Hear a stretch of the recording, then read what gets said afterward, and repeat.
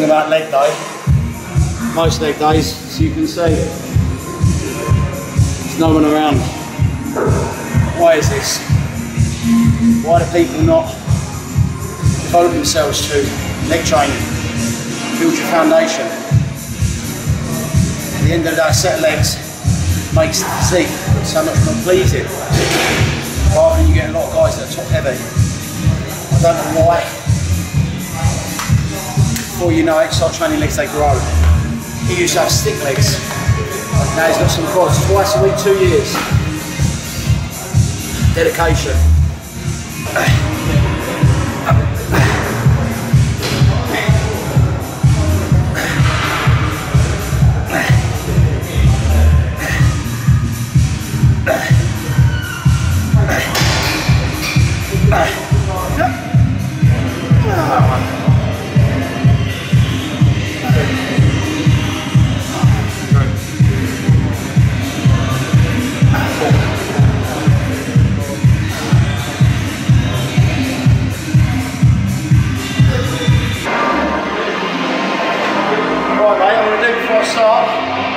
I'm going to do some concentration curls.